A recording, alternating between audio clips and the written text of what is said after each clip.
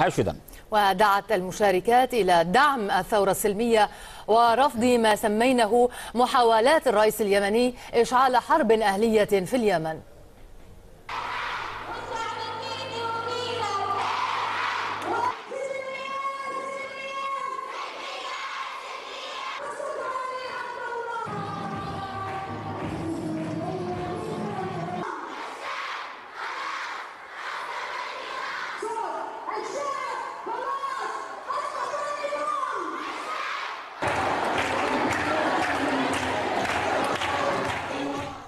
ومعنا من صنعاء فخر العزب عضو اللجنة